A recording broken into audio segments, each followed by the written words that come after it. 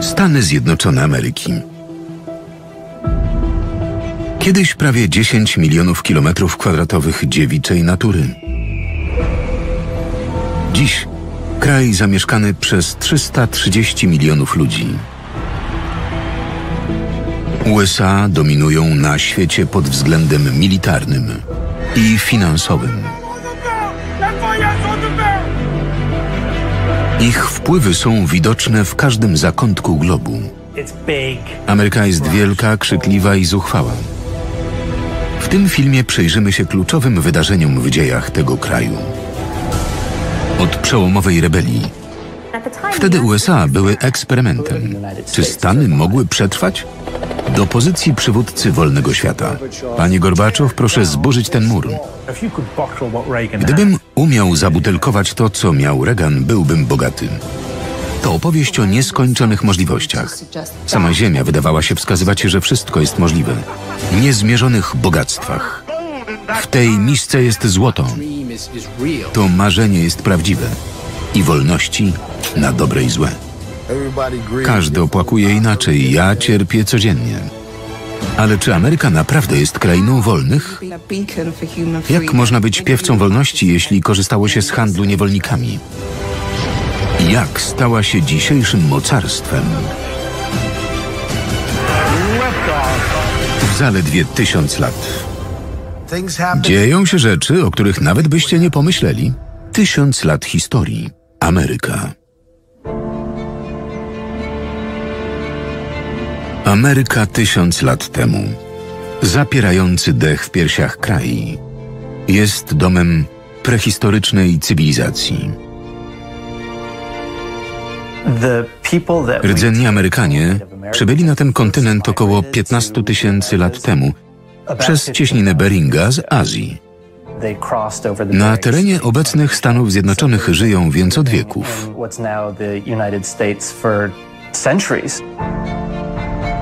Olbrzymi kontynent nie mógł jednak pozostać ukryty na zawsze. Przeskakujemy do roku 1492, kiedy Krzysztof Kolumb po raz pierwszy ujrzał nowy świat. Szukali sławionej w pieśniach krainy obfitości, gdzie wszyscy byliby wolni i gdzie czekałyby na nich wielkie bogactwa. Europejczycy podbijają oceany, za Kolumbem przybywają następni. Całe pokolenia Europejczyków pokonywały Atlantyk, marząc o Ameryce i nowym życiu. Hiszpanie jako pierwsi zbudowali stałą osadę na terenie obecnej Florydy. Potem pojawili się Francuzi, a za nimi Brytyjczycy. Pierwsi Anglicy osiedlili się w Ameryce Północnej w roku 1607. Uważali się za poszukiwaczy przygód. Zbudowali Jamestown w obecnej Virginii. Nie byli rolnikami, nie mieli wiedzy ani umiejętności, które umożliwiłyby przetrwanie kolonii. W ciągu 10 lat ponad 80% z nich zmarło. Kiedy wydawało się, że brytyjskie osadnictwo w Ameryce Północnej jest skazane na porażkę, pojawił się pomysł uprawy tytoniu. Kolonia zaczęła się rozwijać.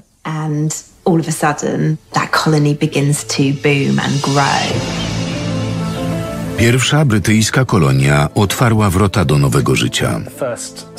Osadnicy uważali się za uciekinierów ze Starego Świata.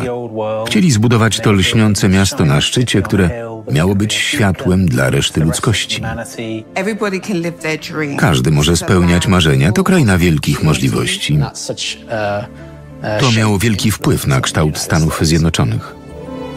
Najlepszym tego symbolem jest Statua Wolności. Górując nad nowojorskim portem, uosabia wolność i możliwości dla wszystkich. Kimkolwiek jesteś, skądkolwiek przybyłeś, w Stanach Zjednoczonych masz szansę na nowe, lepsze życie. Ale czy Ameryka naprawdę była krainą wolnych? Jak można być piewcą wolności, jeśli korzystało się na handlu niewolnikami?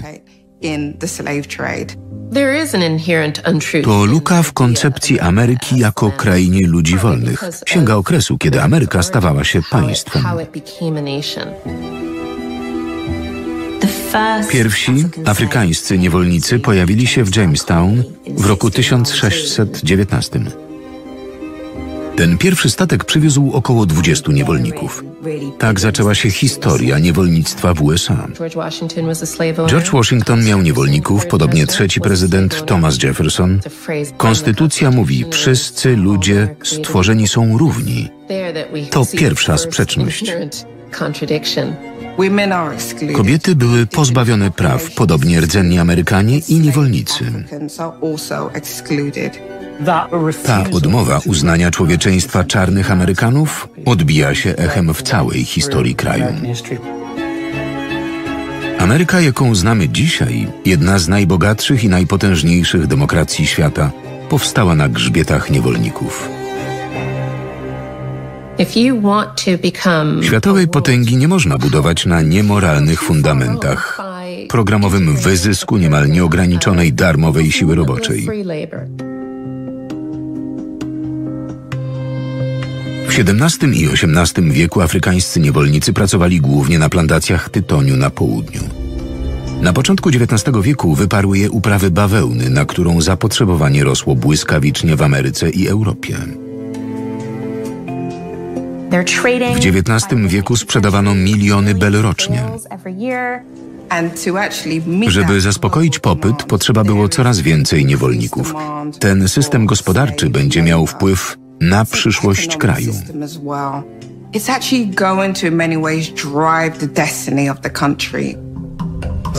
Rosła też wartość niewolników. Zdrowi i silni byli uważani za cenny nabytek. To niewolnicza gospodarka pozwoliła Ameryce zbudować nadzwyczajne bogactwo, z którego korzysta do dzisiaj. Do roku 1860 liczba niewolników w Ameryce sięgnęła 4 milionów, co skutkowało istną eksplozją finansowej potęgi kraju. Łączna wartość wszystkich amerykańskich niewolników wynosiła około 3 miliardów dolarów. To więcej niż wartość wszystkich linii kolejowych i fabryk w kraju.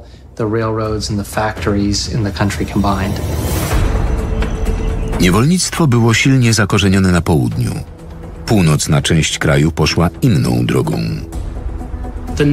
Północ się mechanizowała, pojawił się system fabryk.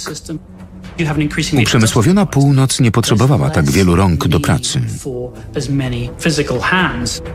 Dla północy gospodarka oparta na niewolnictwie była archaiczna.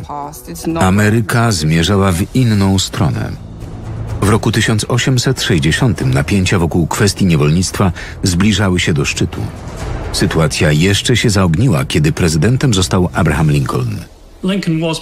Był przeciwny niewolnictwu.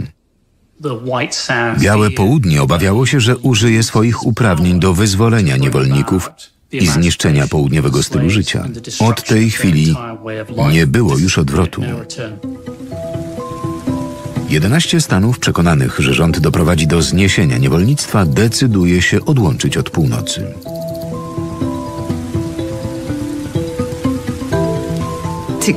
Stworzyły nowy kraj zwany Skonfederowanymi Stanami Ameryki. Kraj miał własną walutę i własny rząd, nawet nową konfederacką flagę. Dla Stanów Zjednoczonych ci ludzie byli zdrajcami. Zniszczyli Unię. Wybuchła wojna secesyjna. Rozpoczęła się bratobójcza walka, która zagrażała istnieniu Ameryki. Kwestię niewolnictwa miała rozwiązać najkrwawsza wojna w historii kraju.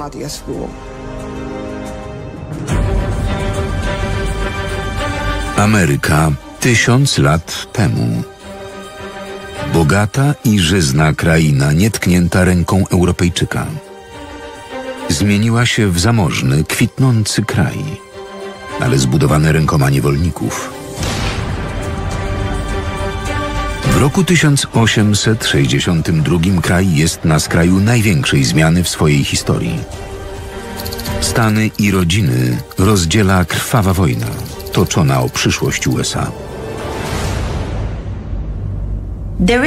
Bez wątpienia przyczyną wojny było niewolnictwo, ale jego zniesienie nie było dla Lincolna najważniejsze. Priorytetem było zachowanie Unii. Pod względem historii kraj nie jest nawet berbeciem. Lincoln i wielu innych nie zamierza pozwolić, żeby zniszczył go ideologiczny spór.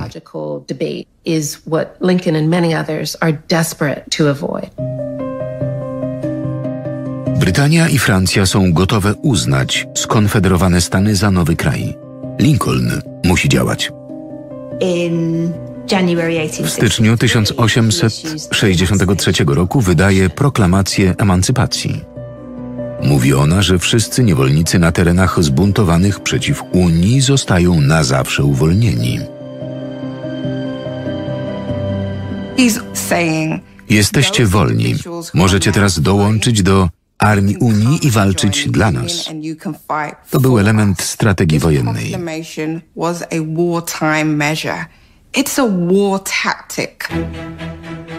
Do walki z południem włączyło się prawie 200 tysięcy Afroamerykanów. Afroamerykanie będą teraz walczyć o własną wolność. Wojna secesyjna była najkrwawszą w dziejach Ameryki. Była brutalna i potworna. W roku 1865 konflikt zakończył się po czterech krwawych latach.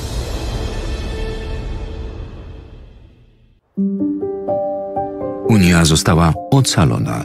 Uchwalono trzynastą poprawkę do konstytucji znoszącą niewolnictwo. Trzynasta poprawka to spełnienie proklamacji emancypacji. Zniesienie niewolnictwa było przełomem. No Pochodzenie nie było już wyrokiem wiecznej niewoli. Słynne słowa Wszyscy ludzie stworzeni są równi nareszcie się spełniły. Statua Wolności pozostaje świadectwem tego kluczowego momentu w dziejach Ameryki. Zerwane kajdany i łańcuchy u stóp posągu upamiętniają zniesienie niewolnictwa.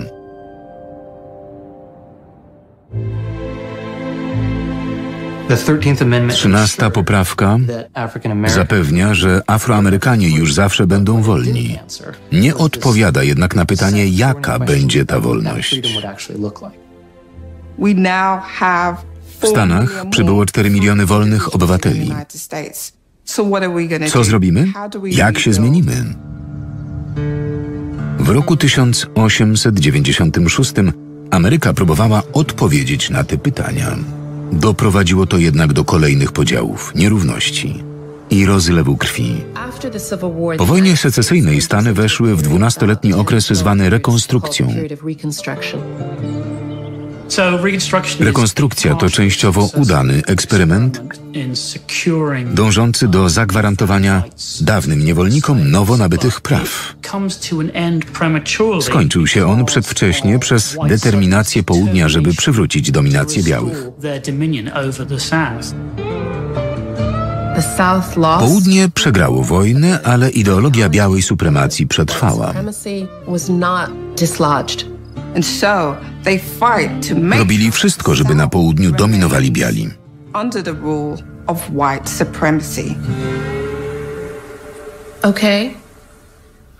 Wszyscy jesteśmy równi, ale rasy powinny żyć oddzielnie. Hasło brzmiało równi, ale oddzielni. Potrzebowali rasowej hierarchii i chcieli uczynić z niej prawo. I do tego doprowadzili.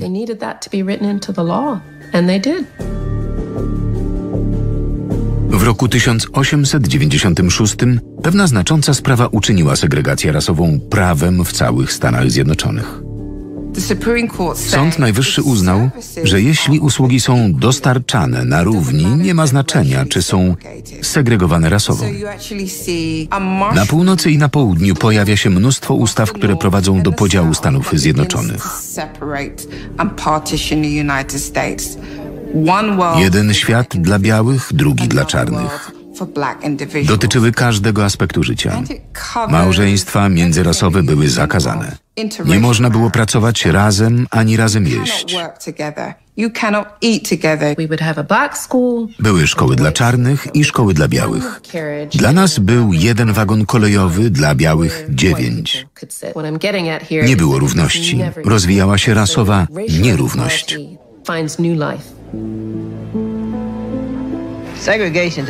Dla przeciętnego czarnego segregacja oznacza przeszkodę.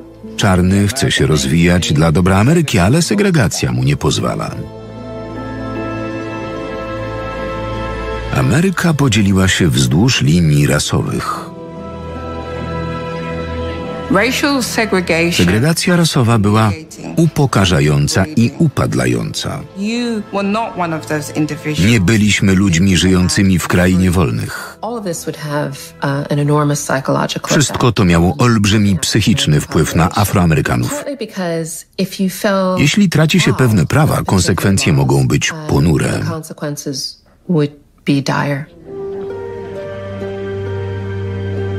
Zastraszanie i przemoc nie pozwalały Afroamerykanom normalnie żyć, a nawet korzystać z konstytucyjnego prawa do głosowania. Mogli zostać zabici, ich domy mogły spłonąć, mogli zostać zlinczowani. To sadystyczne formy przemocy, nie tylko fizyczny, ale także psychiczny terror. Zagrożenie przemocą rzucało długi cień na Afroamerykanów, warunkowało każdy ich ruch. Najgroźniejszą organizacją powstałą w tym okresie był Ku Klux Klan, który zastraszał czarne społeczności.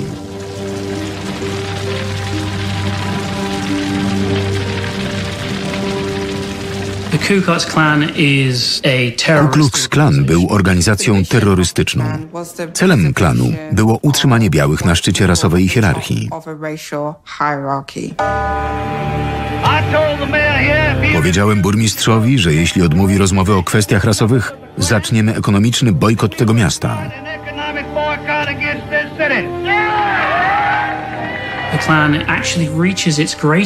Największą siłę klan miał w latach dwudziestych. Należało wtedy do niego kilka milionów członków. Był tak potężny, że maszerowali ulicami Waszyngtonu przed Kapitolem.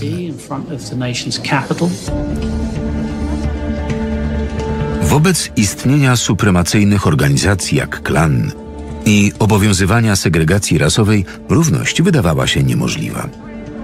Globalny konflikt miał jednak odmienić los Afroamerykanów. Druga wojna światowa była kolejnym punktem zwrotnym w dziejach wolności Amerykanów. 125 tysięcy Afroamerykanów wysłano za granicę.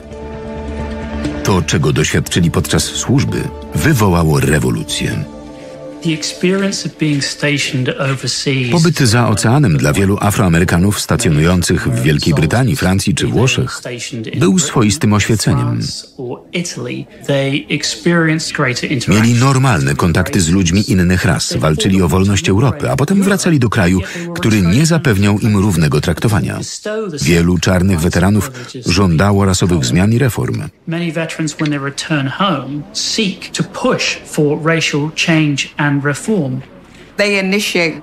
Zapoczątkowali kampanię podwójnego V. Walczyliśmy z faszyzmem za oceanem, będziemy walczyć z rasizmem w domu. To byli prekursorzy ruchu praw obywatelskich z lat 50. i 60. Wydarzenie w Montgomery w Alabamie 5 grudnia 1955 roku stało się podwaliną raczkującego ruchu. Tego dnia Rosa Parks postanowiła, że nie ustąpi miejsca w autobusie białemu, choć tak nakazywało prawo segregacji rasowej. Została aresztowana. Złość czarnej społeczności, że zatrzymano tak znaną i szanowaną kobietę, doprowadziła do bojkotu komunikacji miejskiej w Montgomery. Sparked the Montgomery bus boycott. Przez ponad rok Afroamerykanie nie korzystali z komunikacji w Montgomery, doprowadzając firmę na skraj bankructwa. To zmusiło białych do rozmów i ostatecznie do zniesienia segregacji rasowej w autobusach.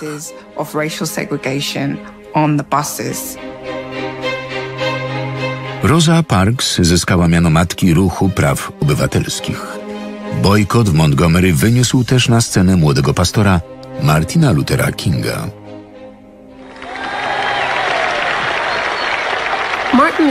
Martin Luther King to symbol ruchu praw obywatelskich. Umiał porozumieć się z narodem, powiedzieć mu, że nie żyje tak, jak powinien. Już nie sprzedamy naszego prawa do wolności za miskę segregacyjnej zupy. Jest symbolem dzięki jego filozofii unikania przemocy. Słowa, że będziemy walczyć z niesprawiedliwością w sposób pokojowy, były bardzo radykalne. Kontrast był bardzo wyraźny.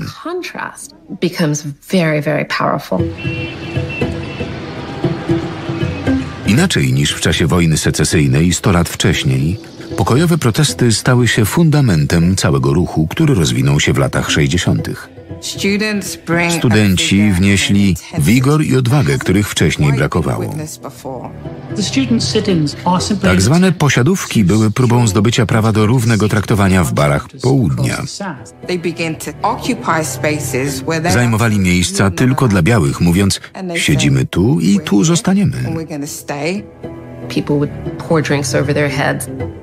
Choć wylewano im drinki na głowy, mieli siedzieć cicho, nie reagować, nic nie robić. To były pokojowe akty obywatelskiego nieposłuszeństwa. W zasadzie ci studenci łamali prawo. 27 lutego zatrzymano 89 z 300 czarnych studentów z Nashville. To nowa radykalna faza protestu. Pokojowo łamali prawo. Wytrzymywali wszystko, czym atakowała ich struktura białej siły. Te ostrzejsze formy protestu wywołały rewolucję praw obywatelskich w latach 60. Zadzwonił z więzienia i powiedział, żebym się nie martwiła. To było smutne, ale jednocześnie zabawne.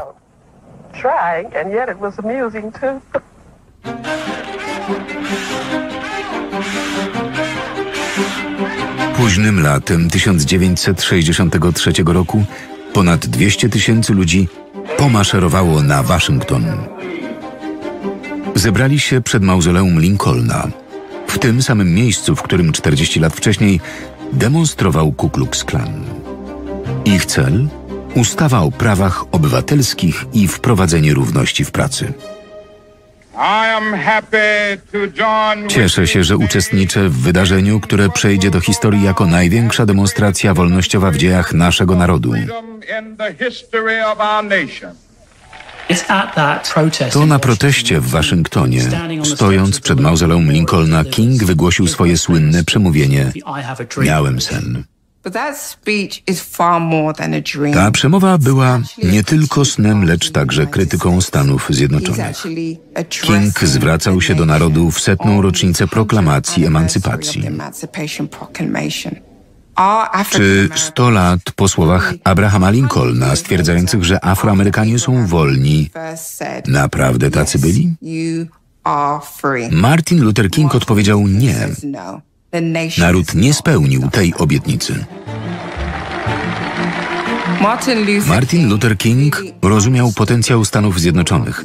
Naciskał je, żeby żyły zgodnie z marzeniami ojców założycieli. Rok później uchwalono ustawę o prawach obywatelskich, kończąc prawie 100 lat rasowej segregacji. Ustawa o głosowaniu, przyjęta 12 miesięcy później, gwarantowała Afroamerykanom prawo do oddania głosu.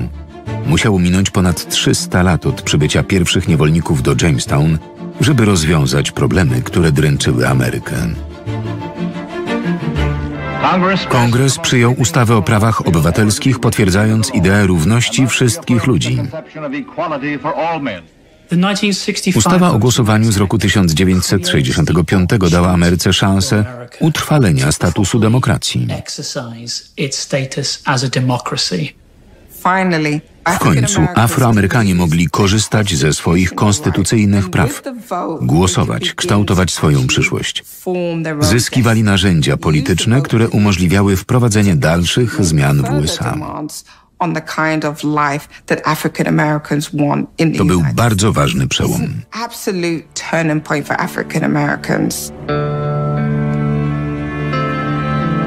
Ale 4 kwietnia 1968 roku doszło do tragedii. Martin Luther King zginął w zamachu w Memphis w Tennessee. Zbrodnia ugodziła również w postępy w walce z segregacją rasową, poczynione w ciągu minionej dekady. Wojownik pokoju został zastrzelony. To był wstrząs. Obok smutku i żałoby pojawił się gniew.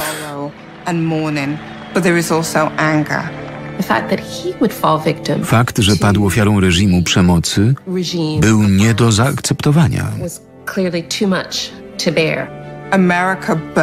W odpowiedzi Ameryka zapłonęła.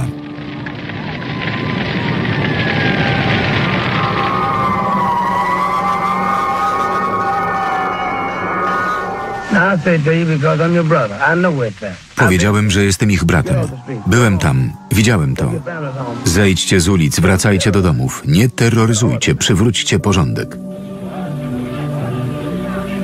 Z tego gniewu w latach 60. i 70. wyrósł ruch Czarna Siła, a wraz z nim nowe pokolenie afroamerykańskich działaczy. Ruch praw obywatelskich nie umarł z Martinem Lutherem Kingiem. Zmienił się. Czarna siła skupiała się na kwestiach dumy, ochrony przed brutalnością policji, potrzebie pracy i godności w pracy.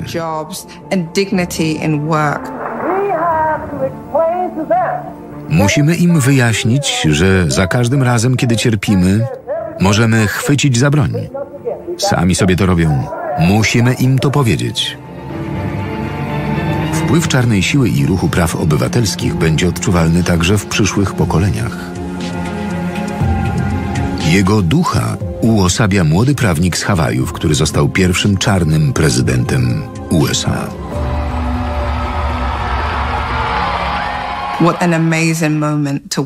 Cóż za wspaniała chwila. Wielu Afroamerykanów nie sądziło, że jej dożyje.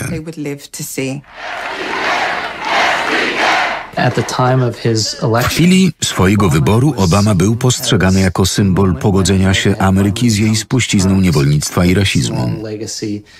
Ale teraz bardziej niż kiedykolwiek widać, że tak nie było.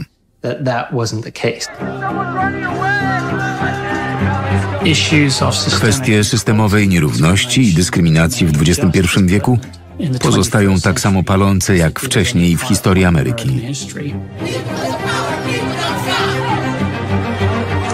Ruch Black Lives Matter kontynuuje walkę z rasizmem i brutalnością policji, wciąż obecnymi w życiu Afroamerykanów. Jego korzenie sięgają czasów pierwszych brytyjskich kolonii. Black Lives Matter jako kampania w XXI wieku wiąże się z rokiem 1619, 1776 i 1865. Każdy opłakuje inaczej. Ja cierpię codziennie. Black Lives Matter przypomina, że pozostała niespełniona obietnica, że wizji równości w Ameryce nie urzeczywistniono. Black Lives Matter Mówi po prostu, że też się liczymy.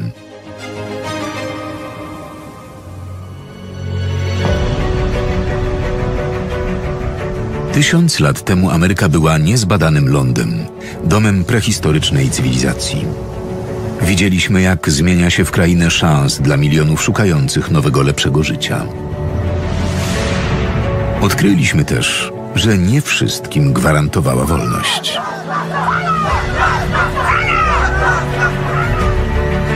Jest jednak jeszcze jeden czynnik, który miał wpływ na obecny kształt Ameryki.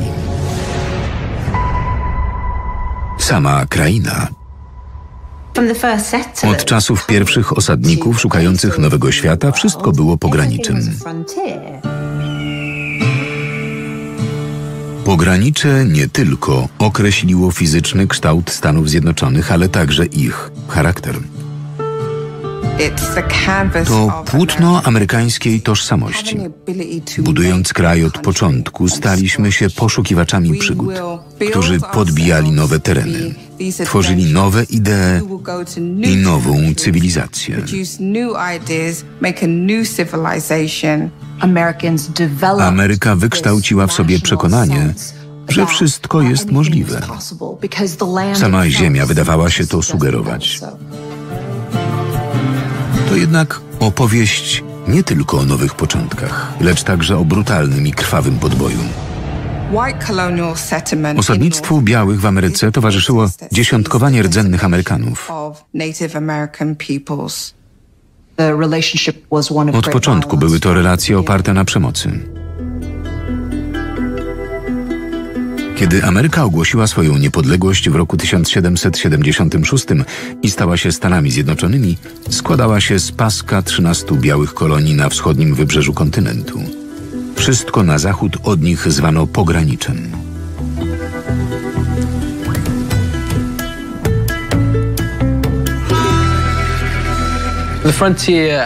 Pogranicze jako strefa fizyczna była punktem stycznym osadnictwa i dziczy. Ludzie nie pojmowali, jak wielki jest ten kontynent. Wydawał się nieskończony. Pogranicze jawiło się jako strefa, która wciąż się przesuwa, która nie ma końca. Kluczowy dla identyfikacji Ameryki jako kraju pogranicza był prezydent z końca XIX wieku Thomas Jefferson. Miał wizję Stanów Zjednoczonych jako kraju wolnych rolników, rodzaj wiejskiej idylii, gdzie każdy ma swoją małą farmę z domkiem z białym płotkiem. Ale przy rosnącej populacji trzeba coraz więcej ziemi, żeby każdy miał swoje gospodarstwo. W roku 1803, żeby spełnić marzenie o ekspansji, Jefferson kupił wielki obszar od Francuzów, którzy przyznali sobie tę ziemię pod koniec XVII wieku. Obszar ten ciągnął się od Mississippi na wschodzie do gór skalistych na zachodzie. Stany Zjednoczone kupiły wielką połać ziemi za 15 milionów dolarów.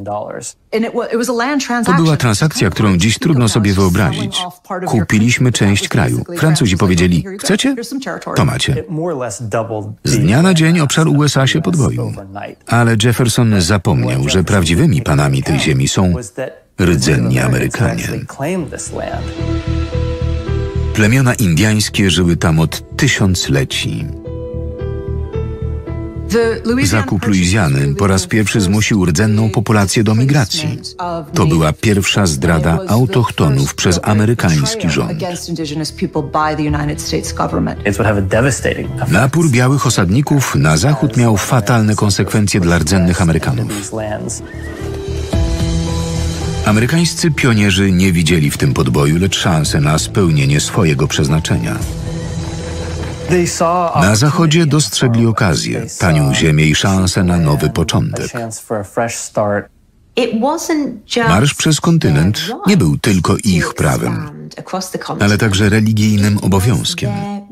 Mieli zanieść tam oświeceniowe idee.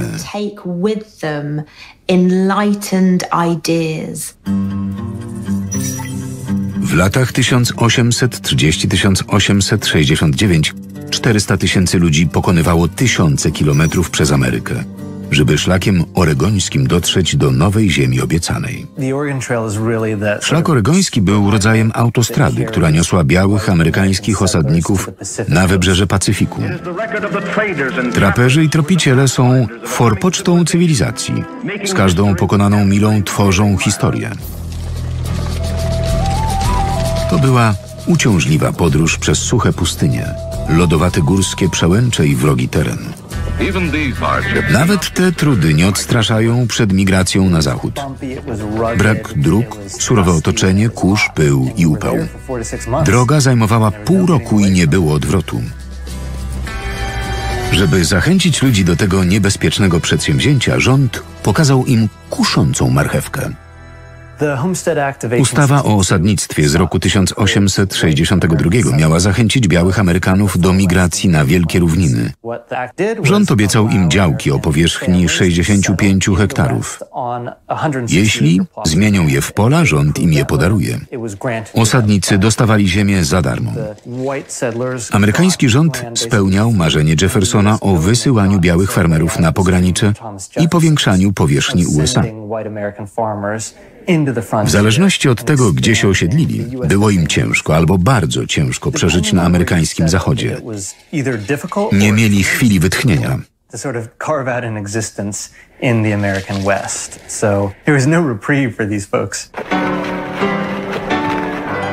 Dziki Zachód należy do najbardziej charakterystycznych obrazów amerykańskiego pogranicza.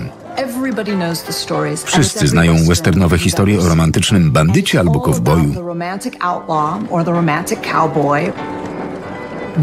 Dziki Zachód miał być krainą bezprawia i przemocy. Lepiej nie czerpać wiedzy ze spaghetti westernów, choć w legendzie Dzikiego Zachodu jest ziarenko prawdy.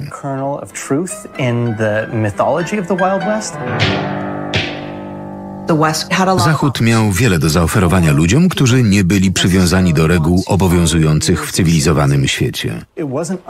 Do zabójstw dochodziło prawie codziennie. Tak, to było dzikie miejsce. Na pograniczu było mnóstwo broni. Jej posiadanie było koniecznością. Tylko tak można było się bronić. Na zachodzie nie było wielu stróżów prawa. Liczyła się samoobrona. Ta obsesja na punkcie broni trwa do dziś. Kultura broni jest głęboko zakorzeniona w amerykańskim stylu życia. Broń wzbudza w Ameryce pozytywne skojarzenia z prawami jednostki. Prawo do noszenia broni sięga roku 1791, kiedy do amerykańskiej konstytucji dodano drugą poprawkę. Druga poprawka gwarantowała, że jeśli Brytyjczycy znowu zaatakują, Amerykanie będą w stanie bronić swoich domów. Wywalczyliśmy swoją wolność. Jeśli będzie zagrożona, mamy konstytucyjne prawo chwycić za broń, żeby jej bronić.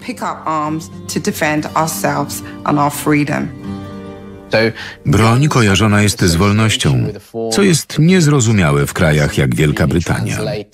Europejczycy są zdumieni i przerażeni amerykańską obsesją na punkcie broni.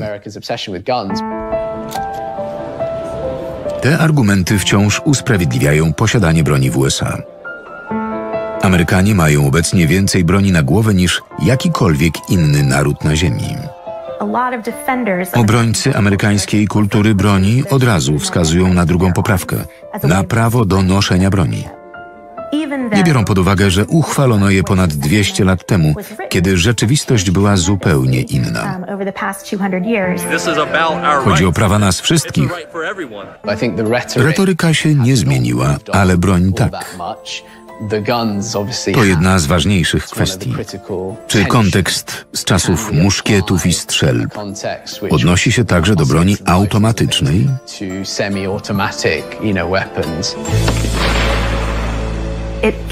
To część amerykańskiego życia, która wciąż dzieli społeczeństwo.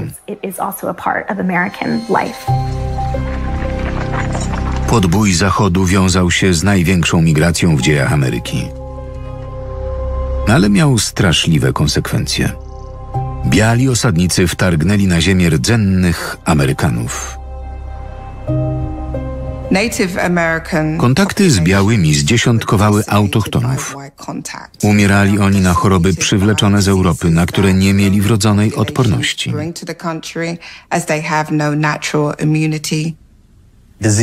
Choroby zabiły więcej rdzennych Amerykanów niż wojny z białymi. Ale europejskie choroby nie były jedynym zagrożeniem. Rdzenni Amerykanie panowali nad większością kontynentu. Swobodnie przemierzali miliony hektarów. Biali chcieli zająć tę ziemię. Amerykański rząd nazywał to Problemem indiańskim postanowiono zapędzić rdzennych Amerykanów na relatywnie niewielkie terytoria, które nie interesowały białych osadników. To był początek systemu rezerwatów, obszarów zbyt małych, żeby po nich wędrować. A rdzenni Amerykanie byli głównie nomadami. W rezerwatach byli pod kontrolą. Nie mogli ich opuszczać, w zasadzie byli więźniami. Ale rdzenni Amerykanie stawili opór. Chcieli bronić swoich ziem. W latach 60. i 70. XIX wieku wojna białych Amerykanów z rdzennymi ludami toczyła się na całych wielkich równinach. Rdzenni Amerykanie opierali się przez ponad 10 lat. Ale w latach 80. było po wszystkim. Ludzie, którzy kiedyś swobodnie wędrowali, trafili do rezerwatów. To był wielki cios dla ich kultury, niezależności i prawa do ziemi.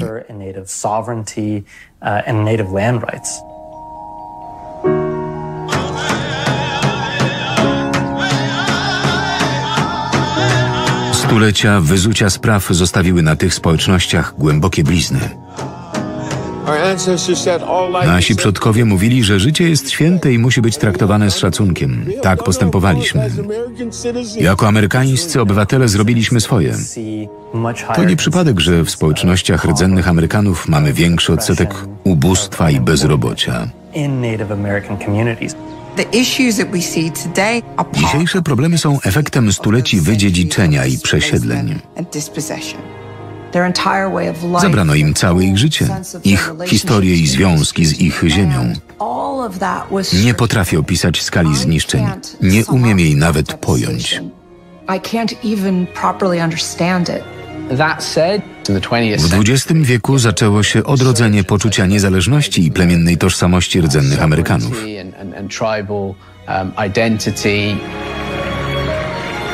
Ruch praw obywatelskich z lat 60. nie ograniczał się do Afroamerykanów. Obejmował też rdzenne narody Ameryki i zapoczątkował inicjatywę na rzecz odzyskania przez rdzennych Amerykanów ich praw i niezależności po stuleciach opresji. Ta walka trwa do dziś. Amerykański rząd jest to winien rdzennym Amerykanom. Musi się nimi lepiej zająć. Ameryka musi robić więcej w tych historycznych kwestiach. Mają one bowiem wpływ na naszą współczesność. W ciągu zaledwie 150 lat liczba ludzi żyjących na terenie od Nowego Jorku na wschodzie po Pacyfik na zachodzie wzrosła z 38 milionów do 327 milionów.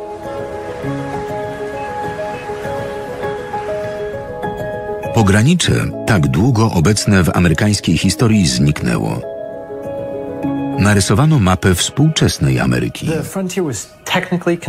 Oficjalnie pogranicze zniknęło w 1890 roku. To wywołało spory kryzys wśród ówczesnych Amerykanów. Gdzie teraz Ameryka znajdzie Amerykę? Ameryka stała się najambitniejszym krajem w dziejach świata. Wraz z tymi aspiracjami przyszło pragnienie znajdowania nowych granic do pokonania. Okazało się, że zawsze jest jakieś pogranicze. 3, 2, 1. Start misji Apollo 11. W latach 60. mieliśmy program Apollo i lądowanie na Księżycu. Dziś myślimy o kolonizacji Marsa. Amerykanie zawsze szukają nowych granic do przekroczenia, miejsc do podbicia i zaanektowania. Może jednym z nich jest Mars.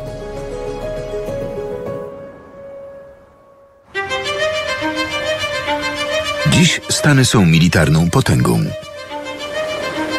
Mają największe siły powietrzne i marynarkę wojenną na świecie. Ameryka ma 900 baz wojskowych w 46 krajach, organizuje manewry w każdym zakątku świata. Wojna jest osią amerykańskiej tożsamości. Ale dlaczego? Odpowiedź można znaleźć 245 lat temu. Ameryka powstała dzięki bezprecedensowemu rozlewowi krwi. Jej korzenie sięgają toczonej z Wielką Brytanią wojny o niepodległość. W roku 1775 13 kolonii zjednoczyło się w walce o niepodległość z Wielką Brytanią.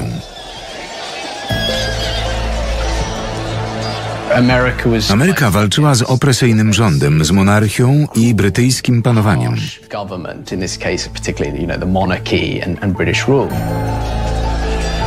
W roku 1783 armia kolonialna odniosła zwycięstwo. Z rozlewu krwi zrodziło się nowe państwo. Rewolucja amerykańska to narodziny Stanów Zjednoczonych. To była wielka kulturowa zmiana. Z brytyjskich poddanych staliśmy się obywatelami amerykańskimi. Tyrańskie rządy Wielkiej Brytanii skończyły się, Stany Zjednoczone stały się niepodległym państwem.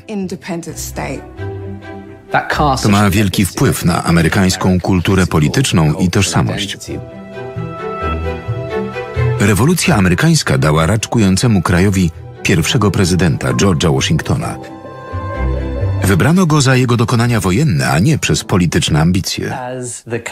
Jako dowódca armii kontynentalnej w wojnie o niepodległość był uważany za zbawcę Stanów Zjednoczonych. Na jego prezydenturę zgadzali się wszyscy Amerykanie.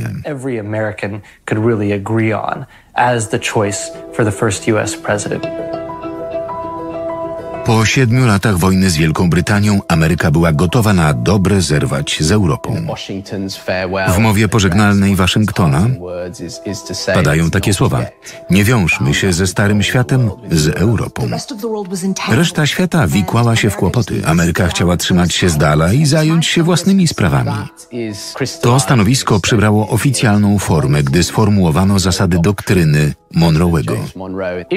Prezydent James Monroe oświadczył, że Ameryka nie chce się mieszać w europejskie spory. Uznał, że kraj nie może dać się wciągać w europejskie wojny. Ale w nowym stuleciu globalna katastrofa znowu postawiła USA twarzą w twarz z Europą.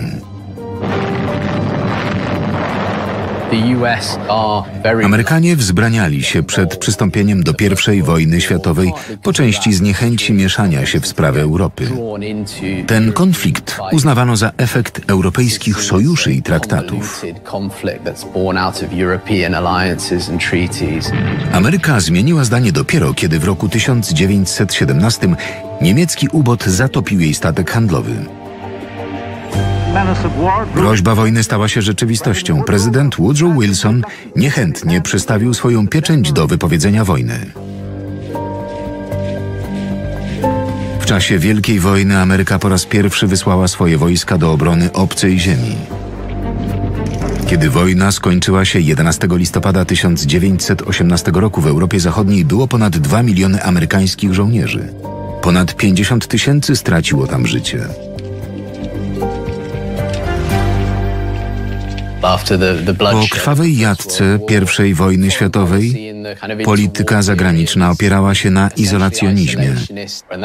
To zrozumiałe. Ameryka zmniejszała swoją armię i skupiała się na sprawach wewnętrznych.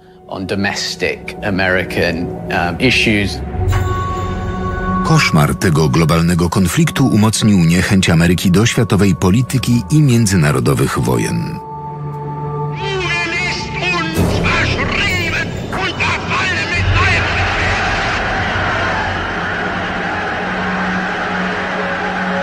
Kiedy więc w roku 1939 Wielka Brytania wypowiedziała wojnę hitlerowskim Niemcom, Ameryka nie była gotowa pomóc. Ten kraj pozostanie neutralny. Mam nadzieję i wierzę, że Stany Zjednoczone nie przystąpią do tej wojny. Ale wydarzenia z 7 grudnia 1941 roku zmieniły zdanie Ameryki o jej miejscu w świecie. Tego pamiętnego dnia 300 japońskich samolotów zaatakowało Pearl Harbor na Hawajach, największą amerykańską bazę morską na Pacyfiku. Kiedy Amerykanie spali, Japończycy uderzyli na lotniska, stocznie, pancerniki. Zadali cios w samo serce amerykańskiej floty pacyficznej.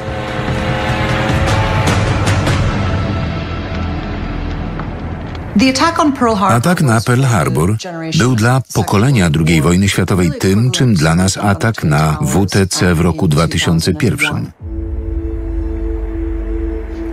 Ameryka sądziła, że jest bezpieczna. Prawda okazała się inna. Tak jak w zamachach z 11 września w ataku na Pearl Harbor zginęło ponad 2000 Amerykanów. Kraj pogrążył się w szoku i żałobie. Nastąpiła zmiana paradygmatu.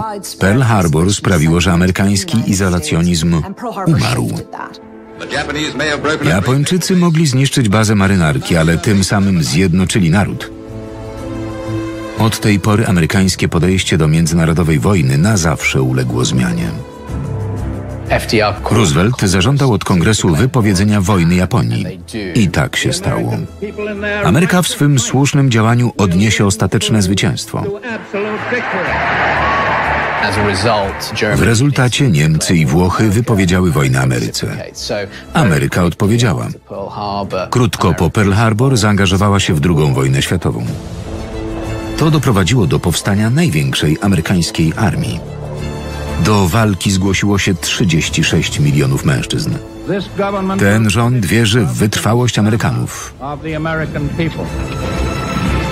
Amerykańska pomoc odegrała kluczową rolę w pokonaniu nazistowskich Niemiec. W roku 1943 Francja była okupowana, a Wielka Brytania od dawna walczyła osamotniona. Amerykańscy żołnierze, materiały i pieniądze wraz z radzieckimi wysiłkami na froncie wschodnim były niezbędne, żeby odmienić koleje wojny. 8 maja 1945 roku alianci ogłosili zwycięstwo.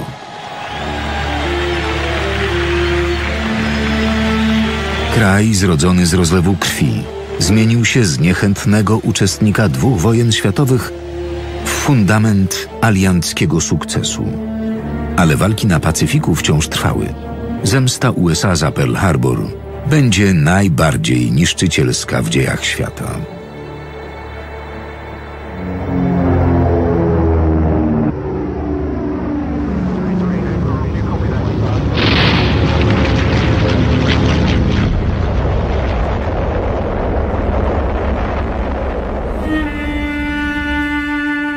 Kiedy w sierpniu 1945 roku Ameryka zrzuciła na Japonię dwie bomby atomowe, wojna natychmiast się skończyła. Hiroshima zniknęła w mgnieniu oka, zostały tylko ruiny. Zmieniło się miejsce USA w świecie. Zrzucając bomby atomowe, Stany Zjednoczone pokazały swą technologiczną przewagę nad każdym potencjalnym rywalem. W rezultacie USA wyszły z wojny jako globalne supermocarstwo. Ameryka znalazła świetną okazję, by podkreślić swój nowy status. Każdy superbohater potrzebuje superzbira. Stał się nim komunizm i Związek Radziecki. ZSRR i USA, sojusznicy z II wojny światowej, stali się wrogami w nowym konflikcie zimnej wojnie. Po jednej stronie mamy Amerykę, która reprezentuje demokrację i wolny rynek. Po drugiej Związek Radziecki, utożsamiany z kontrolą państwa i łamaniem wolności jednostki.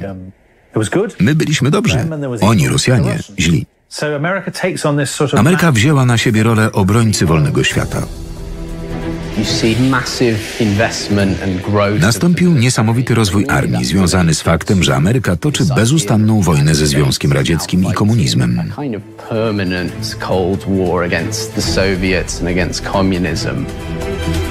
To w czasie zimnej wojny USA zaczęto nazywać liderem wolnego świata.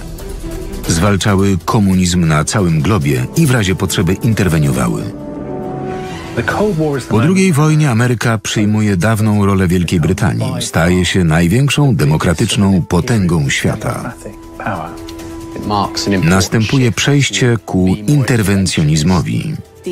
Doktryna antykomunizmu stała się pretekstem do ingerencji w każdym zakątku świata. Jedną z takich interwencji była wojna w Wietnamie. Głównym celem Ameryki było zapobieżenie zwycięstwu komunizmu. Stany wysłały do Wietnamu najpierw doradców wojskowych, a potem żołnierzy.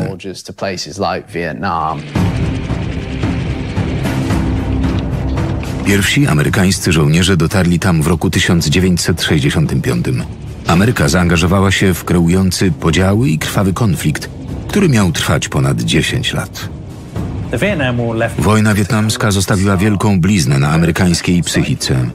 Amerykanie zakładali, że będzie to szybka interwencja militarna, że zatrzymają falę i nie pozwolą, żeby w Wietnamie zapanował komunizm.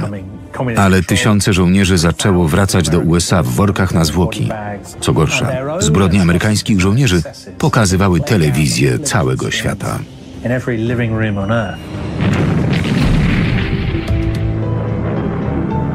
Wojna wietnamska skończyła się w roku 1975, kiedy wojska komunistyczne zajęły Wietnam Południowy. Ameryka przegrała bitwę. Czy może jeszcze wygrać wojnę? W ciągu tysiąca lat Ameryka przeszła zdumiewającą transformację. Od pierwszych kolonii na wschodzie wielkiego kontynentu po najdalsze zakątki dzikiego zachodu. Naród zrodzony z rozlewu krwi stał się policjantem świata, walcząc z komunizmem o globalną dominację. Kiedy po klęsce w Wietnamie amerykańskie przywództwo zaczęło się chwiać, pojawił się Ronald Reagan, 40. prezydent USA.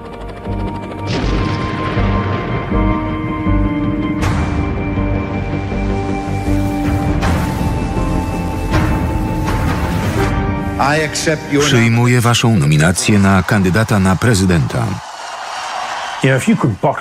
Gdybym umiał zabutelkować to, co miał Reagan, byłbym bogaty. Zimna wojna była dla niego świetnym tłem. Doskonale posługiwał się wzniosłymi moralizatorskimi hasłami o walce dobra ze złem. W roku 1987 Reagan poleciał do Berlina i wygłosił mowę, która zdefiniuje jego prezydenturę. W przemówieniu przed bramą brandenburską Reagan pokazał, co potrafi. Panie Gorbaczow, proszę otworzyć tę bramę. Reagan był hollywoodzkim aktorem i pławił się w blasku przywódcy wolnego świata. Poleciał do miejsca z najlepszym efektem wizualnym i wygłosił iście hollywoodzką kwestię. Panie Gorbaczow, proszę zburzyć ten mur. Tylko Reaganowi mógł ujść na sucho tak ckliwy hollywoodzki tekst. Ale odniósł wielki sukces i tym właśnie jest przemowa sprzed bramy brandenburskiej. Dwa lata później, w roku 1989, słowa Reagana stały się rzeczywistością. Mur berliński, symbol zimnej wojny, runął. W roku 1991 rozpadł się także Związek Radziecki oraz komunistyczna władza nad Europą Wschodnią. Ameryka zwyciężyła, stając się największą potęgą na świecie. W historii nie było równie wielkiego i potężnego imperium. Stany przewyższyły nawet Cesarstwo Rzymskie. Ameryka przewodziła światu. Rozmawiając o tym, Amerykanie mówią wygraliśmy. I przez chwilę w latach 90. to była prawda. Nie mieli żadnego rywala. Nastały czasy świetności. Zimna wojna dobiegła końca. Ale 11 września 2001 roku Ameryka znowu przeszła wielką próbę.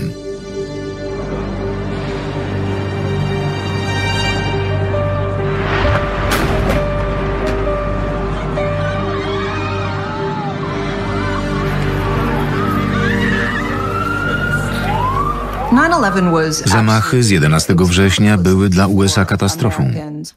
Nie tylko dlatego, że zginęły tysiące Amerykanów. Chodzi o to, że świat przestał postrzegać Amerykę jako niezwyciężoną.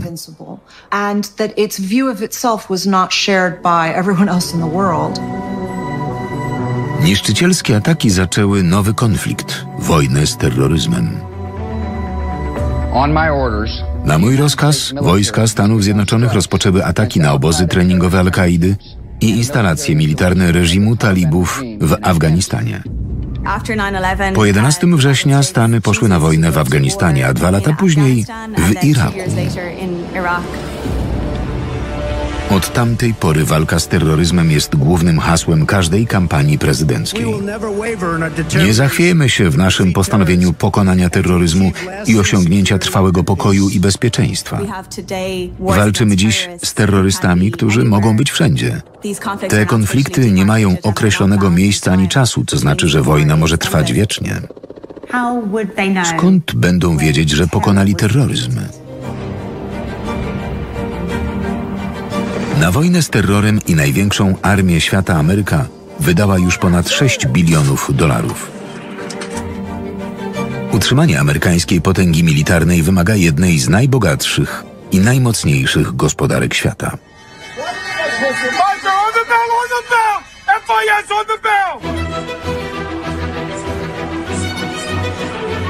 Nie ma lepszego symbolu amerykańskiego bogactwa niż nowojorska giełda. Mimo, że jest młodsza od londyńskiej o prawie 250 lat, jest warta ponad dwa razy więcej. Codziennie przepływają przez nią miliardy dolarów. W Ameryce zawsze chodziło o zbicie majątku. To tam jechali wszyscy, którzy chcieli zarabiać. Idea zdobywania bogactwa jest dla Amerykanów najważniejsza. Finansowa dominacja Ameryki to historia wzlotów i upadków, olbrzymich majątków i skrajnej nędzy. Jak USA stały się jednym z najbogatszych krajów świata? Amerykanie cenią sukces. Kochają go. Już pierwsi osadnicy chcieli zbudować nowy świat. Chcieli żyć w dobrobycie.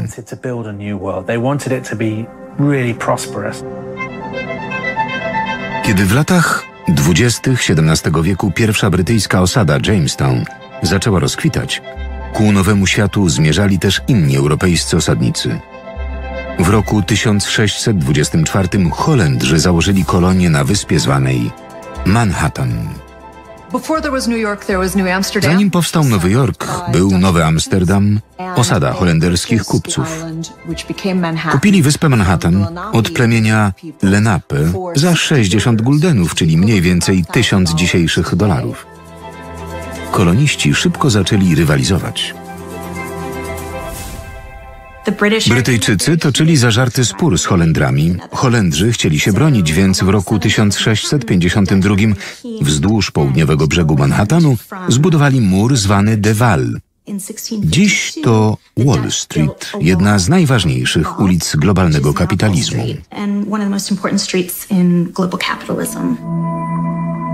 Ale mur nie zatrzymał Anglików na długo. W roku 1664 Holendrzy oddali im Nowy Amsterdam. Anglicy nazwali go Nowym Jorkiem na cześć Jakuba II, księcia Jorku, późniejszego króla Anglii. Musiał minąć kolejny sto lat, zanim Wall Street stała się finansową stolicą Ameryki. Pod koniec XVIII wieku grupa mężczyzn zawarła tzw. Tak umowę platanową. 24 kupców umówiło się, że będą handlować tylko ze sobą. Stworzyli system handlu zamkniętego. Ta umowa to jeden z najważniejszych dokumentów finansowych w historii Ameryki. Stworzyła podwaliny pod słynną nowojorską giełdę.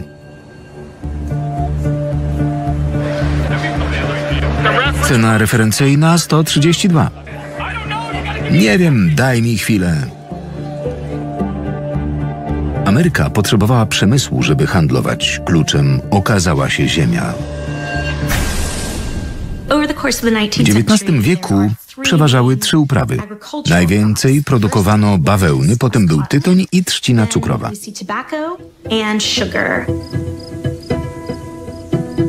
W roku 1848 przypadkowe odkrycie w Kalifornii zmieniło amerykańską drogę do bogactwa.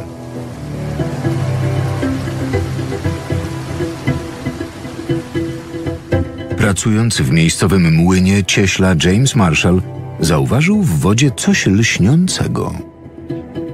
Płatki czystego złota. Odkrycie tego kruszcu w Sutter's Mill to jedno z najważniejszych wydarzeń w historii Ameryki. Myślę, że pierwsi poszukiwacze chcieli utrzymać to w tajemnicy, ale się nie udało.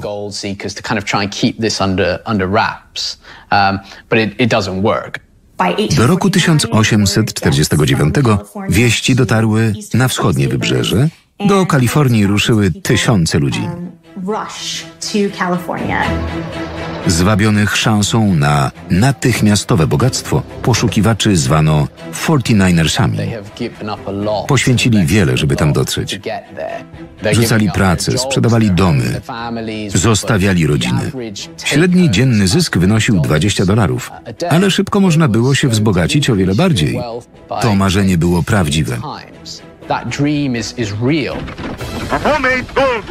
Domowej roboty kopalnia złota gotowa. Przy cenie złota 33 dolary za uncję daje niezły zysk. Chłopcy, w tej misce jest złoto.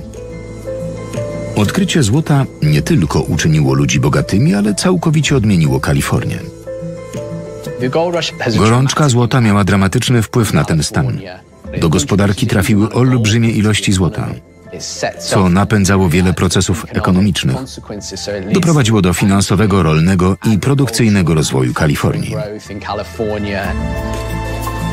W szczytowym roku 1852 z ziemi wydobyto złoto warte 81 milionów dolarów. Wiele firm wywodzi się z Kalifornii. Levi Strauss zaczął szyć tam swoje słynne dżinsy. Były to spodnie robocze, do kopania. Kalifornia powoli stawała się gospodarczą potęgą, którą jest obecnie. To była olbrzymia społeczna i ekonomiczna zmiana zachodniego wybrzeża i całych Stanów. 49ersi stali się ważnym elementem historii Kalifornii. Nazwa drużyny futbolowej San Francisco 49ers świadczy o tym, jak bardzo to pokolenie poszukiwaczy złota przeszło do legendy.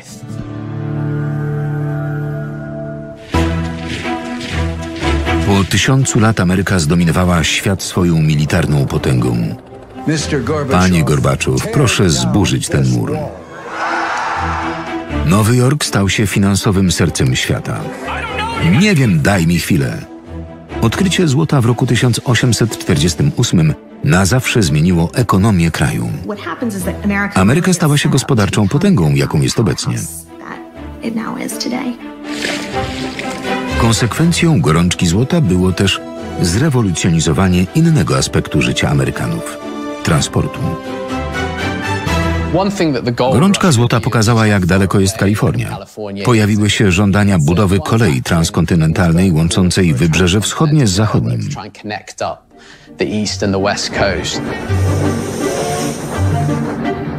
Pracy rozpoczęto w roku 1862.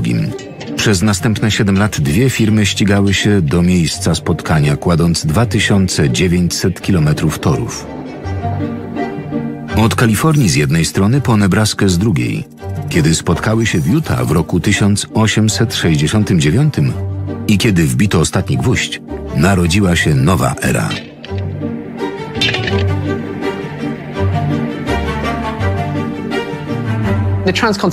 Powstanie kolei transkontynentalnej to kluczowy moment w ekspansji Ameryki.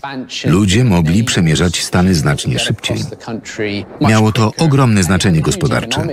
Umożliwiało transport towarów w kraju i za morze w czasie, kiedy Ameryka rozwijała swój przemysł.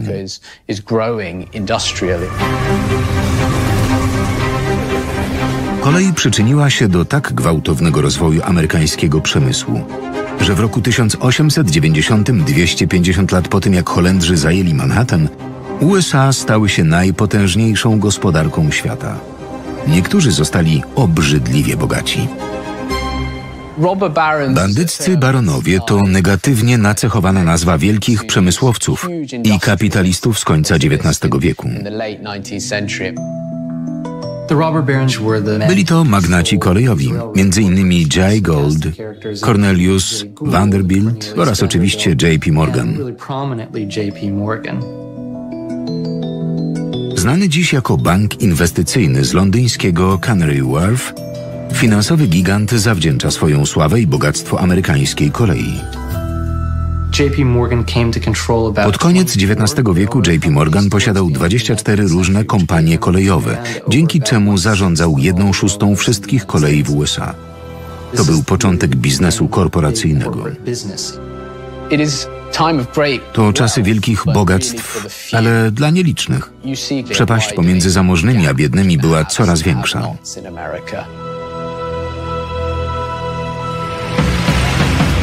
Kiedy wielkie korporacje zarabiały miliony i tworzyły gospodarkę płacową, pracownicy osiągali wyższy dochód. Przed Ameryką otwierała się dekada wielkiego dostatku.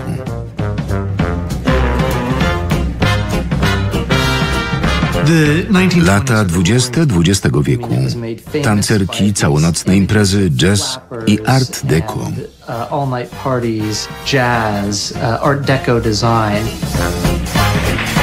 Amerykańska obsesja na punkcie bogactwa i sukcesu przynosiła owoce.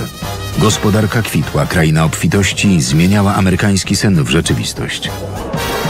W Nowym Orleanie w biznesie i handlu ma powstać pół miliona nowych miejsc pracy. Wydawało się, że dobre czasy nigdy się nie skończą. Lata dwudzieste dosłownie lśniły. Elektryczność stała się powszechna, produkcja była masowa.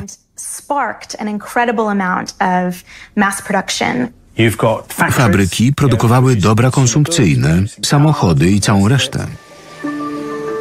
Najsłynniejszym człowiekiem korzystającym z dobrodziejstw elektryczności był Henry Ford. Stworzył pierwszą linię produkcyjną do montażu swojego modelu T. Bitwa ze stratami czasu została wygrana. Samochody zjeżdżają z taśmy montażowej w tempie 1 na 40 sekund. Jego wynalazek skrócił czas produkcji samochodu z ponad 12 godzin do 90 minut. Sprzedano miliony Fordów T. Ameryka mogła napędzać swoją gospodarczą dominację. W latach dwudziestych wzrost gospodarczy Ameryki uległ podwojeniu. Zatrudnienie i płace rosły, ludzie mieli więcej pieniędzy niż kiedykolwiek. Właśnie w tym czasie narodziła się kultura konsumencka, której symbolem jest Ameryka. Nakłaniani reklamami i nowymi formami kredytów Amerykanie wydawali i pożyczali jak nigdy wcześniej. Masowa produkcja kształtowała styl życia. Ludzie kupowali lodówki i pralki. Nie stać cię na nową lodówkę? Żaden problem, weź na nią kredyt. Wielu ludzi wpadało w spirale zadłużenia. Ameryka miała poznać prawdziwą cenę dobrobytu. W roku 1929 okazało się, że rozkwit to bańka, która pękła. 29 października 1929 roku w tak zwany czarny wtorek amerykańska giełda się załamała. W panice 16 milionów akcji sprzedano za ułamek ich wartości. Owoce amerykańskiej rewolucji rolnej i przemysłowej zniknęły w jednej chwili. Okazało się, że handlują zwykłymi świstkami papieru, które mają wartość tylko wtedy, kiedy rynek jest zdrowy. Nowy Jork, najbogatsze miasto najbogatszego kraju świata, zbankrutował politycznie i gospodarczo.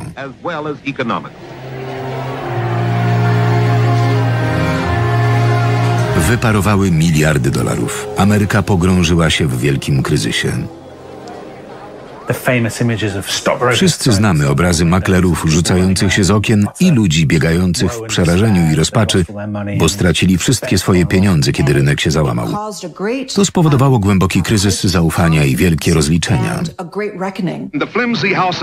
Domek z kart naszego dobrobytu runął. Upadek rynku spowodował zniknięcie 50 miliardów dolarów. Człowiek z dolarówką stał się królem, ale trudno go było znaleźć w tłumie bezrobotnych. Krach na Wall Street i wielki kryzys należą do najsmutniejszych wydarzeń w historii USA. Dotknęły wszystkich. Oczywiście najwięcej stracili najbogatsi, ale najbardziej ucierpieli ubożsi. Na początku lat 30. 25% Amerykanów nie miało pracy. W roku 1933 na ratunek Ameryce przyszedł prezydent Roosevelt. Kiedy USA zmagały się z wielkim kryzysem, to właśnie Roosevelt zachęcał do aktywności i współczucia. Miał użyć potęgi rządu federalnego do wyciągnięcia Ameryki z kryzysu. Roosevelt wprowadził przełomowy plan, żeby pobudzić gospodarkę. Nazwano go Nowym Ładem. Misją Roosevelta było wysłanie Amerykanów z powrotem do pracy. Zorganizował wiele programów i agencji, które miały pobudzić amerykańską gospodarkę. Do połowy czerwca 300 tysięcy młodych mężczyzn zniknęło z ulic, żeby pracować w cywilnym korpusie ochrony przyrody. Ludzie nazywali to zupą z literkami. Rząd prowadził mnóstwo programów federalnych z akronimami jak SEC, WPA czy TVA. Wszystkie miały pomóc Ameryce przetrwać kryzys. Nowy Ład, choć nie pozbawiony wad, złagodził skutki kryzysu i dał wielu Amerykanom pracę. Sam widok ludzi podbijających karty pracy i pędzących do linii produkcyjnych to dobre wieści. Każdego dnia z fabryki wyjeżdżały tysiące nowych samochodów, a robotnicy znowu mieli co jeść. Krach z 1929 roku nie był jednak jedynym w dziejach nowojorskiej giełdy. Lata 20. w USA to początek stuletniego okresu wzlotów i upadków.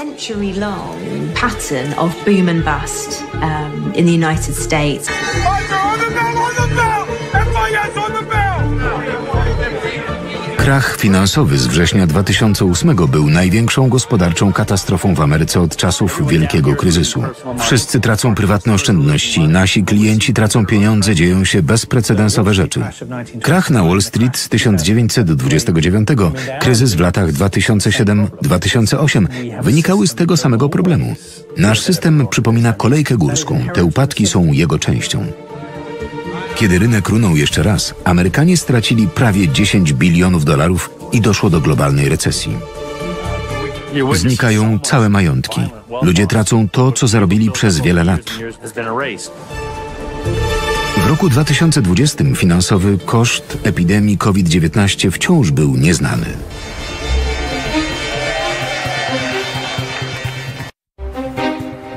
Ale Ameryka zawsze się odradza. Ameryka sprzyja powstawaniu biznesowych tytanów, ponieważ wierzy w ducha przedsiębiorczości. Ludzie tu nie obawiają się zaryzykować, sprawdzając nowy pomysł, nawet jeśli może on zawieść.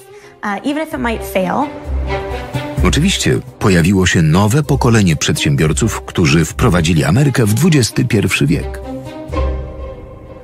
System polega na przeciągnij i puść. Wszystko działa płynnie. Dziś Krzemowa Dolina w północnej Kalifornii to amerykańskie centrum techniki i innowacji. Nazwa tego miejsca ma związek z wielką koncentracją firm elektronicznych i komputerowych, które rozwijają się tam od lat 50. Pod pewnymi względami to kolejna gorączka złota. I to niedaleko miejsca, gdzie doszło do pierwszej. To tam widzimy rozwój masowej technologii, którą Stany Zjednoczone skutecznie sprzedają na całym świecie. Microsoft, Apple, Amazon, Krzemowa Dolina przynosi wielkie zyski.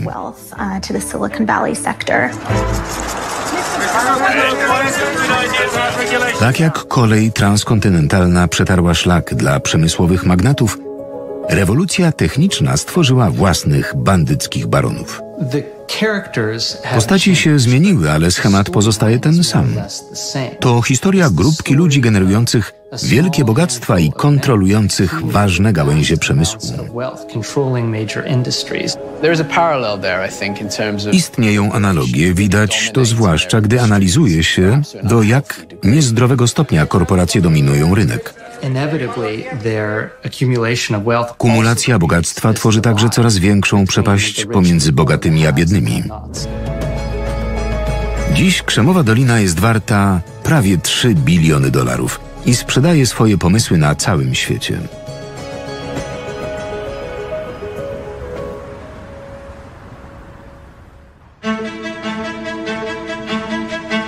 USA dały światu najsłynniejsze kulturowe symbole. Ameryka jest wielka, krzykliwa i zuchwała. Burgery, wieżowce, statua wolności, centra handlowe, baseball. Kultura konsumencka, którą przejmujemy chętnie, jeśli nie chciwie. Jak żaden inny kraj, Ameryka jest mistrzem w eksportowaniu swojej kultury, czyniąc ją znaną na całym świecie. Jak USA stały się globalnym fenomenem? Wszystko zaczęło się, kiedy w latach dwudziestych ubiegłego wieku kraj przeistoczył się w gospodarczą potęgę. Amerykanizacja w sensie globalnym wywodzi się z początków XX wieku. Po I wojnie światowej Ameryka stała się znaczącą siłą gospodarczą, ale potrzebowała rynków zbytu.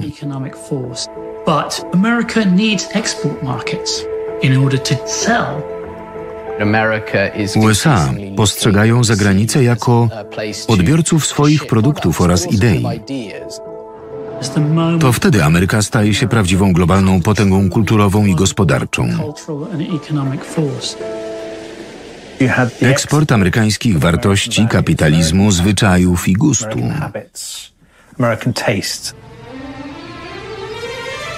I w USA znalazła na to idealny sposób. Kluczem do udanego eksportu kultury amerykańskiej jest Hollywood. To niezwykła machina produkująca amerykańskie sny i wysyłająca je do każdego zakątka ziemi. Wielu ludzi postrzega Stany Zjednoczone przez pryzmat Hollywoodu. Taka jest Ameryka dla większości świata. To ważne. Możemy zostać sami? Czemu? Dobrze się bawię. To sposób na rozpowszechnianie nie tylko amerykańskiej kultury, lecz także humoru, dramatów i traum społeczeństwa USA. Wszystko to za pośrednictwem Hollywoodu. Dziś Hollywood to wielomiliardowy przemysł i show biznesowa stolica świata. Dał nam największe gwiazdy.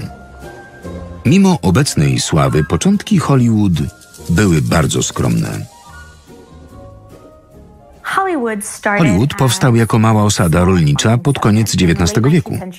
Farmerzy przekonali się jednak, że ziemia tam nie jest zbyt żyzna, więc wzięli się za produkcję filmów.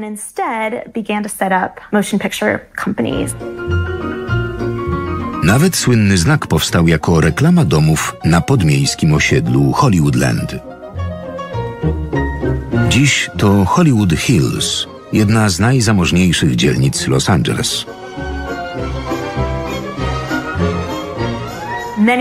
Wielu producentów filmów, którzy przenieśli się do Hollywoodu, odkryło, że jest tam mnóstwo naturalnych scenerii i różnorodnych krajobrazów oraz swobodniejszy styl życia. Kalifornia przyjęła ich z otwartymi ramionami.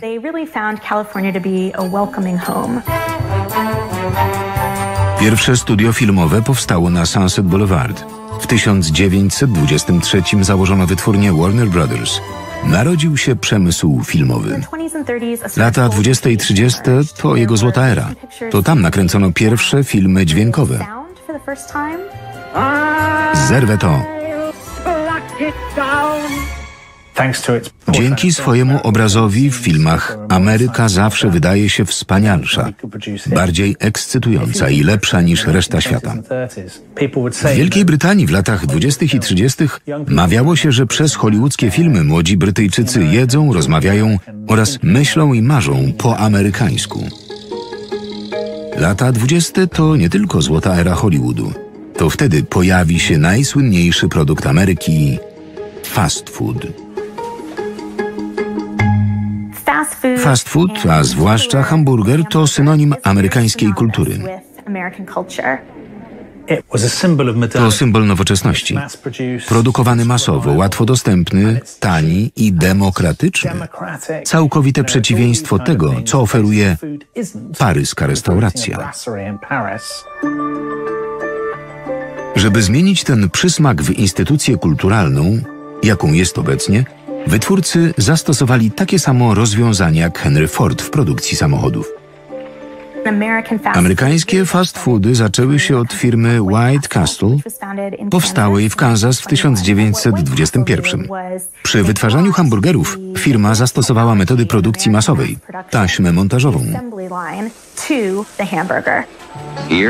Tutaj przygotowywanie jedzenia zmieniono w naukę. Komputery robią frytki. Te i inne techniczne innowacje gwarantują standardy, których wymagają klienci. To iście amerykańska fascynacja przemysłem, wydajnością i techniką. Firma White Castle zmieniła posiłek w amerykański symbol. Narodził się fast food. Świat fast foodów jest ekscytujący, nowy i nowoczesny. Stał się globalnym symbolem amerykańskiego kapitalizmu. Fast foody poniosły amerykańskie przesłanie kulturowe po całym świecie. Dotyczy to zwłaszcza jednej marki.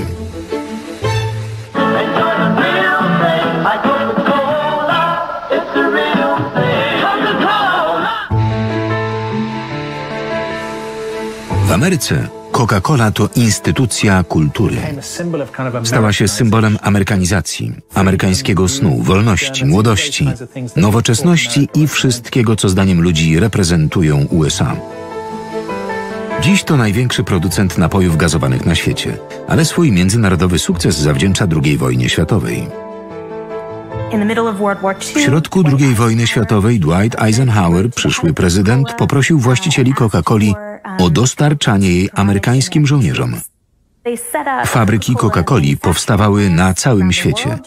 Istnieli nawet tak zwani Coca-Colowi pułkownicy, lokalni przedstawiciele firmy dostarczający Coca-Colę żołnierzom. Trakcie wojny amerykańscy żołnierze wypili podobno aż 5 miliardów butelek Coca-Coli. Coca-Cola była tym samym, co amerykański wysiłek wojenny. Ludzie poza granicami USA zaczęli kojarzyć Coca-Colę z kulturą amerykańską. Amerykanie zdołali wysłać w świat podkolorowany obraz swojego stylu życia. Coca-Cola to Ameryka w butelce. Druga wojna światowa przyniosła światu amerykańską kulturę. Po zakończeniu II wojny światowej Ameryka była pełna samozadowolenia i wiary w siebie. W latach 50. Amerykanie dobrze zarabiali, mieli więcej pieniędzy niż kiedykolwiek wcześniej i mieli je na co wydawać. Dzięki nowej zamożności miliony białych Amerykanów przeniosły się na przedmieścia. W latach 50. pojawiła się idea przedmieść. Wielu białych należących do klasy średniej porzucało miasta na rzecz przedmieść, gdzie mogli mieć większe domy i przestrzeń dla dzieci. Wtedy pojawił się ten obrazek z białym płotkiem, dokładnie przystrzyżonym trawnikiem przed domem i rodziną z dwojgiem dzieci. Tak zwane miasta lewitów Skromne, niedrogie domy stały się symbolem życia na przedmieściach i Ameryki w latach 50. Tej kultury i stylu życia zazdrościł Amerykanom cały świat. W latach 50. ludzie spoza USA zaczęli dostrzegać perfekcję amerykańskiego życia i amerykańskiego snu. Wielka Brytania, Francja czy zachodnie Niemcy leżały w gruzach, natomiast Stany Zjednoczone rozkwitały. Ameryka była w technikolorze, Europa czarno-biała. Lecąc z Londynu do Nowego Jorku miało się wrażenie podróży do przyszłości odległej o 20 lat. W latach 50. brytyjski premier Harold Macmillan powiedział Brytyjczykom, że nigdy nie mieli tak dobrze. Ale Amerykanie zawsze mieli lepiej. Mieli lodówki i wielkie supermarkety. W latach 50. ten świat dostrzeżono na całej planecie. Dobre życie na przedmieściach. Ten obraz Ameryki sięgający korzeniami lat 50. znamy wszyscy. That vision of America, which is so rooted in the 50s, is one that we all recognize. Wraz z przedmieściami pojawił się inny globalny eksporter Disneyland. Prawdopodobnie najsłynniejszy park rozrywki na świecie Disneyland. Jego rozmiary robią jeszcze większe wrażenie z wysokości 300 metrów. Każdy w moim wieku wie, czym był dla nas Disneyland, kiedy byliśmy mali. To była wizja czystej przyjemności, niewinnej rodzinnej zabawy. Uosabia wiele fantazji Amerykanów na temat siły i bogactwa amerykańskiej kultury. To rozrywka, ale w pewnym sensie także odbicie amerykańskiego życia. Jest tam mnóstwo fast foodów, świetna obsługa klienta i cała reszta. Kwintesencja amerykańskiej kultury konsumpcyjnej. Dziś kulturowa dominacja Ameryki wciąż rośnie. We wszelkich aspektach życia, od ubrań, które nosimy, przez to, gdzie jemy i co kupujemy, zmagamy się z niepowstrzymaną falą amerykanizacji. USA dominują kulturowo, finansowo i militarnie. Próbują zdobyć serca i umysły ludzi na całym świecie. Ta opowieść o wolności przyciąga. Jest coś w tej wizji lśniącego miasta na szczycie. Wciąż nie potrafimy odrzucić tej mrzonki. Ale rany z amerykańskiej przeszłości nie poszły w zapomnienie. Dla przeciętnego czarnego segregacja to przeszkoda. Jej wizerunek został splamiony. Chiny, Chiny, 58, Chiny. USA zaczynały z bohaterem wojennym u steru. Dziś krajem rządzi gwiazdor reality show. Dzieją się rzeczy, o których nawet byście nie pomyśleli. Trump przykrył wiele amerykańskich problemów, ale one nie znikną.